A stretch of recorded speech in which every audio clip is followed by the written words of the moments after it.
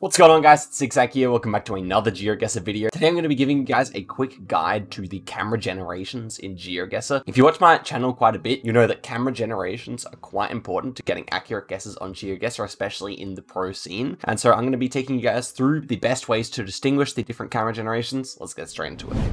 Okay, so first one is probably the most obvious one, and that is Generation 1. So Generation 1 is extremely blurry. You can never read text on the side of the road, basically. Even if you're this close to a sign, it really isn't quite legible. And you can just see that this is quite a low quality picture. Things are not clear at all here. Also, one thing to note with Generation 1 is that often when you look at the sun, there's going to be some like kind of visual artifacts. For example, this big beam coming out of the sun is not something you'd see in other camera generations. It's worth bearing in mind that Generation 1 is mostly just found in Australia, New Zealand, and the USA but you can find it in other countries as well very rarely. Alright, so now I'll show you guys how to examine the different camera generations for yourselves. Come up to the left-hand side here where it says Street View and click it, and then you can actually see every single time the Google car drove past that particular spot. Okay, so that's 2008. Now if we jump to 2009, we've got Generation 2, and you can see this is an immediate massive upgrade. So normally you won't see too much Generation 1, but Generation 2 is quite common. And now we can read these signs, and we can get a fairly good idea of what's going on around us. And so Generation 2 is actually quite easy to distinguish from the others, I would say.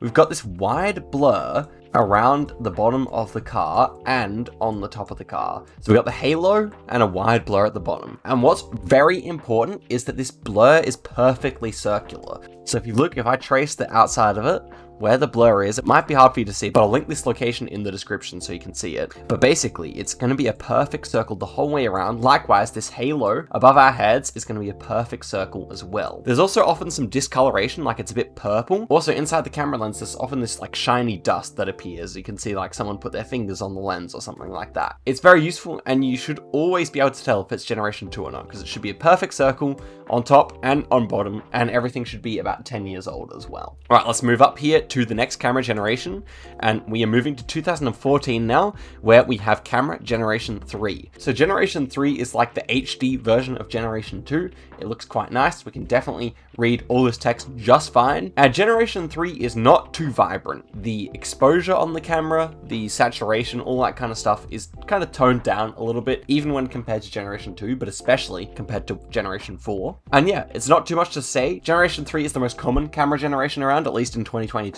and you can see it in most countries that have Google Street View. Another thing to note with Generation 3 is that it is the one that has the most Google car meta. For example, if you have a long antenna, a snorkel, a roof rack, or anything like that, then you're probably going to be in a location that is Generation 3. All right, let's move on to the final camera generation here. We're moving all the way to 2021, and watch this difference, okay? So this is what Generation 3 looks like, and here is Generation 4. Wow. It's very different, actually. A lot of people struggle to tell the difference at the beginning, but this is very different indeed. We have like a massive blob in the sky for the sun, whereas in Generation 3, let me run it back here. In 2018, for example, we've got the sun, it's like a bright day, and it's just a normal circle shape, whereas we move to 2021, and it takes up a whole blob in the sky. All the colors here are much more vibrant than what we saw before. I mean, compare Generation 1 to Generation 4, and you can just read faraway text relatively easily. So that is really the best way to get Generation 4. You should have this very vibrant colors. Even on the overcast day, it should be quite vibrant. And yes, just the nicest view available on Google Street View at this point. Also worth mentioning that the Google Street View cars in Generation 3 are often all different colors,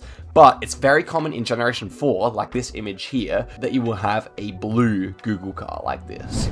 Let me just clear up a few mistakes that I see a lot of people make when they first start to identify the camera generations. Here we are on a round in Switzerland, and we have a very circular and wide blur at the bottom of the car here, but you can see that it is not a perfect circle. We actually have a few bumps in the outside of the blur here, and that is because we're actually in generation 3 low camera. And so Switzerland and Japan use generation 3 low camera, the reason being for privacy concerns, but just keep in mind, we don't have the halo above our heads here, no circular halo, and no perfect perfect circular blur means that we're going to be in low cam instead of generation 2. This is actually generation 3. And then also, as I mentioned, if you see an exposed Google car like this one, you're going to be in generation 3 somewhere. Now I'll flash up four maps which show where in the world the camera generations appear. Obviously, this is the part where you go and learn what's available where and use it to make some really nice guesses. And I would definitely be willing to make a video in the future where I kind of talk about the different camera generation breakdowns by country, where you can expect to see what, especially talking regionally so you can get particularly good guesses. Yeah, guys, here's the map for Generation 1 countries. As you can see, mostly Australia and US there. Plenty of other countries have a little bit of it. Then there's Generation 2. That's when Google coverage started to really become quite ubiquitous. And a general rule of thumb is that it tended to be more so in richer countries. Western Europe tended to get Generation 2, whereas, as you can see here, Generation 3 tended to be more so all around the world. Eastern Europe got plenty of Generation 3 as well as many other places in the world. As I mentioned before, most countries will have Generation 3, so more so important is learning Generation 2 and Generation 4. And then finally we have a map of Generation 4, although this one is definitely liable to change because a lot of countries have been getting Generation 4 recently. There are like five countries, including Senegal right now, that have Generation 4 footage that's just not been released yet, so we have to wait and see when that does come out. But guys, thank you very much for watching this video. I hope that answered all your questions. If you have any more questions, happy to answer them. There are also some other good resources on the GeoGuessr Reddit and such that you can also look at if you are still confused. But guys, thank you very much for watching. I'll see you guys in the video very soon. Goodbye.